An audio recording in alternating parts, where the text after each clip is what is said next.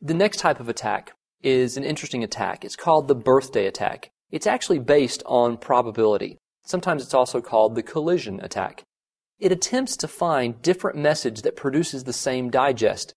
Now, digests use algorithms, typically hashing algorithms, that make it very unlikely for two separate messages to produce the same digest. Unlikely, but not impossible.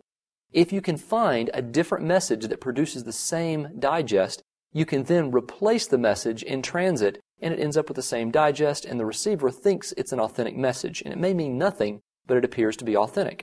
It's all based on an interesting phenomenon that if you have a room of 23 or more people, there's at least a 50% chance that there are two people with the same birthday. So it's based on probability that there should be the likelihood that you can find another message that produces the same digest. That's what it's all about.